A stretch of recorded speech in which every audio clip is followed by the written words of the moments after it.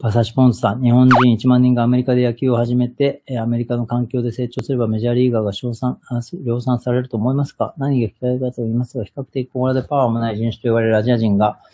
MLB で活躍する人数が少ない一番の原因は日本の指導指導方法にあると思います。武井さんどう思いますか？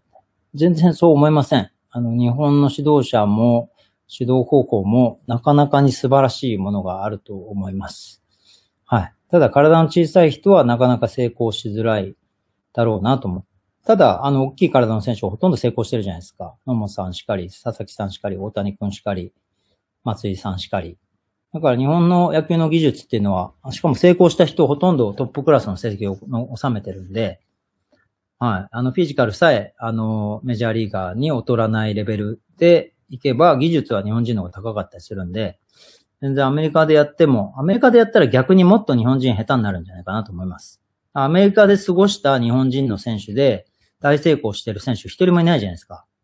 あの、留学してる人いっぱいいるけど、アメリカの高校大学でドラフトにかかったなんて選手一人もいないじゃないですか。ほとんどいないじゃないですか。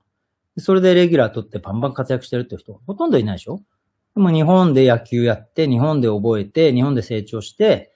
あの、メジャーリーグでトップの成績残してる人は、もう佐々木さん、一郎選手、野茂さん、ね、たくさんいるじゃない。言ったら。マー君とかもそうだしさ、そういうダルビッシュ投手もそうだしさ、そういう、日本の野球の技術論とかってすごく発達してると思います。